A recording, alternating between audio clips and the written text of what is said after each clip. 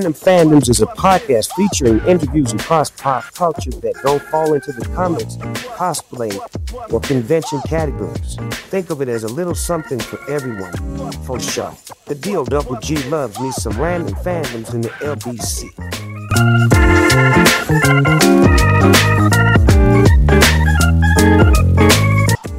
Episode one of Random Fandoms, Pop Cult HQ staff writer Josh Winchester interviews John McKinnon, the executive director at the Elmhurst Art Museum in Elmhurst, Illinois. They discuss the Marvelocity, the art of Alex Ross exhibit, which is a celebration of comic book artist Alex Ross's career and is on display now until August 20th. Enjoy!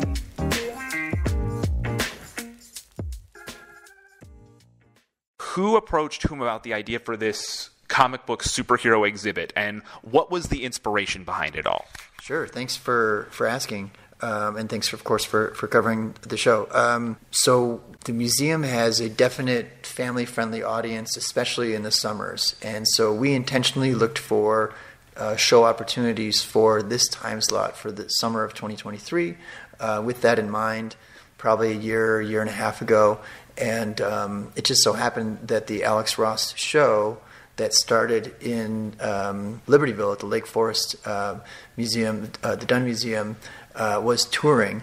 And we felt like, well, it had been there maybe four years ago, but in, in our terms, maybe that was like a decade ago because of COVID, or and we have a different audience than them. So uh, that was one thing that we did pause on because it had been in the Chicago area before. Uh, but we knew that um, there were a couple things on our side, uh, and we were excited to present it. So we did approach them at the Dunn Museum to ask if the, that was a possibility on their national tour of the exhibition. When you were getting the ball rolling, how did things progress working with Alex to develop the exhibition in terms of what pieces were chosen for display? Because his back catalog, he's been in the business for over 30 years, so it's a lot of work to cherry pick for an exhibit like this. Sure, yeah. And so I think that there's probably a sequence of things that came before us uh, getting the show, including Alex working with Chip Kidd and a number of other people on the book, Marvelocity. And uh, at the same time, I understand they were developing it into an exhibition that was the original exhibition that was at the Dunn Museum. So I wasn't part of all of those, nor was any other museum uh, employee here part of that plan. I wish I could uh, relay more of that. Um, but I know that they took pieces and parts from that original show and made it into a traveling show that's that's gone you know around uh, the country, and uh, we were very happy to present uh, what was offered as as that possibility, and then add to it. Right, so we had um, local artists, um, many of which are already in-house art talent here, create things like the superheroes in Wilder Park um, which is a kind of life-sized figures. Sometimes worked with youth groups, community youth groups, and we had some other things with our programming and other things that we were able to add to it. And we just felt like it was such a strong center of which you know we could have a rotating cast of other things around, and um, it just felt like a, a great way to make a kind of superhero summer. I absolutely love that superhero summer and summertime pre and post COVID has always been one of the ideal moments when superhero movies get released, as the public well knows. So now, obviously, there was a lot of working with Alex and Chip Kidd on this and everybody else that was involved to an extent prior, but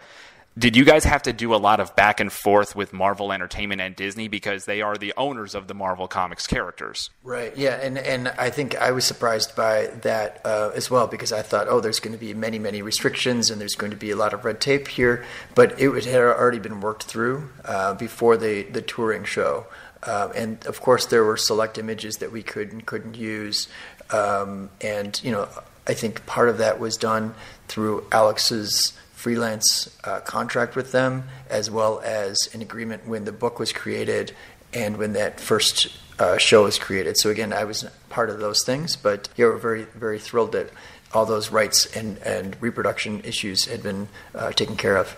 You talked about being involved with the local community. What are some other, you know, projects or works that tied around this specific exhibit that you've uh, done for the summer just to engage everyone here in the area? Yeah, a good question. So there are multiple things, uh, whether it was the Superheroes in Wilder Park, uh, which we opened up during Art in Wilder Park, a big arts festival that we have uh, that brings in 10,000 people in one weekend.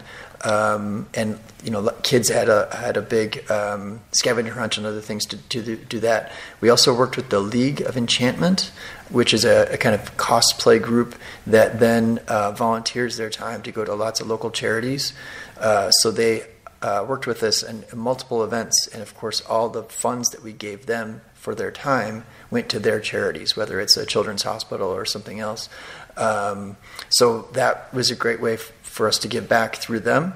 And um, there's also another component called an everyday hero, where people in the community have been nominating everyday heroes, submitting images, submitting stories, and a local artist and, uh, and designer has then been rendering them into superheroes uh, to tell their story. Now, as the executive director of the museum, what are your thoughts on comic book art being seen in a new light as something more along the lines of high art, you know, your Picasso, your Renoir, your Monet, even your Andy Warhol, or the sort of thing that could be exhibited in museums for non comic book fans to enjoy? I think when we saw this possibility of a show, one of the first things that we were very excited about with the tie-in was that our drawing and cartooning classes have always been very popular, and so there was a definite immediate interest in like doing something with our education classes and having uh, different workshops. And in fact, we've had some uh, costumed figure drawing workshops that kind of take a page from Alex Ross's work where people are dressed up in costume and then other people have, have rendered it. And, you know, I think we were very interested in that kind of classical training that Alex Ross has of really getting down to the figure, getting it right, uh, getting all the fine details uh, that he does so well down on a page and doing it by hand. So that was kind of something that we explored more through some of these workshops as well as you know some other things that we have. But uh, yeah, I think that that's something that everyone takes away from the show as well. Is that um, I know that Alex is, is, a fan favorite because of this and, and his deep respect and, and um, deep reverence for the characters and stories. But um, I think that's one thing that shines through. That if we had shown another graphic artist, it might have been a different story. But here, that's the kind of way that we've been able to show his work in particular. But otherwise, I think that in very general terms, it's you know exploring the art of comics just like we would explore I don't know the the design aspects of some rock and roll posters or you know maybe something else that's that's part of pop culture but requires very art school training. Final question. Now, you talked about what people take away from this, but is as the museum director, any particular message or motivation you hope museum goers will take away from this exhibit? And, you know, following that, do you see this as opening a doorway for future displays, either with Alex Ross or other local comic book professionals, or even trying to do other stuff with other nationally known individuals in that industry? The most immediate thing that everyone seems to take away from the show, and, and it's even from when we explained it way back when, when we were going to propose the show, and I started talking about it with some committees and other, other folks in the community, was that fact that it's done by hand and it's a laborious process that Alex Ross has. It's not just something very quick on the computer because I think you know people don't understand that at a first glance, and so just the work behind it gave it a different respect, I think, from individuals. Not just see, oh, I see that it's Wolverine, I see this is the Fantastic Four, Spider Man. Oh, I know these characters, but understanding how someone like Alex can make it seem so lifelike and seem like it's going to jump off the page has been something that I think everyone has a better respect for after seeing this show. And in terms of opening the door to other things, you know, I think that we'd welcome it. Like I said, our drawing and cartooning classes have always been popular, even before this exhibition. Um, we were able to work with some artists that work in a kind of comic book genre and other people that work with the figure in different ways with the superheroes in Wilder Park. And I think that you know maybe that opens the door for us to uh, to find other other fits, uh, whether it's with those same artists or it's you know an, another kind of genre of sorts.